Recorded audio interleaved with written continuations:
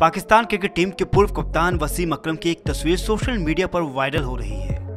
अकरम की फ़ोटो साल उन्नीस सौ सतासी की है, जब पाकिस्तान की टीम भारत दौरे पर आई थी। तस्वीर में वसीम अकरम होली मनाते दिख रहे हैं। इस फ़ोटो को स्पोर्ट्स प्रेजेंटर गौतम बिमानी ने अपने ट्विटर हैंडल पर शेयर की। इस तस्वीर को लोगों ने पसंद भी किया। लेकिन अकरम की पत्नी शनायरा अकरम ने तेज गेंदबाज को ट्रोल कर दिया।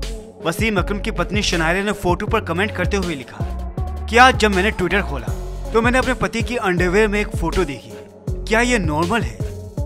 इस पर वसीम अकरम भी चुप नहीं रहे। वसीम अकरम ने जवाब देते हुए लिखा कि हाँ ये नॉर्मल है। आपकी जानकारी के लिए बता दूँ, ये शॉर्ट्स थे अंडरवेयर नहीं। इसके साथ ही वसीम अकरम ने गौतम भिवानी के ट्वीट को रीट्वीट भी किया और लिखा हैप्पी होली